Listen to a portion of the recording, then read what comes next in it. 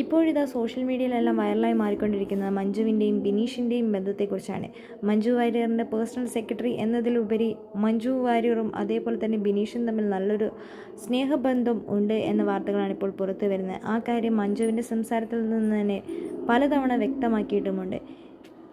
മഞ്ജുവിന്റെ എല്ലാ കാര്യങ്ങളിലും ഇടപെടുന്നത് ബിനീഷ് തന്നെയാണ്. ബിനീഷാണ് മഞ്ജുവിന്റെ എല്ലാ ഡേറ്റിന്റെ കാര്യങ്ങളെല്ലാം തീരുമാനിക്കുന്നത്.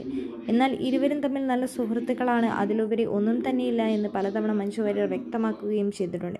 ഇപ്പോഴിതാ ഇവരുടെ സൗഹൃദം തന്നെയാണ് സോഷ്യൽ മീഡിയയിൽ ചർച്ചയായി മാറിക്കൊണ്ടിരിക്കുന്നത്.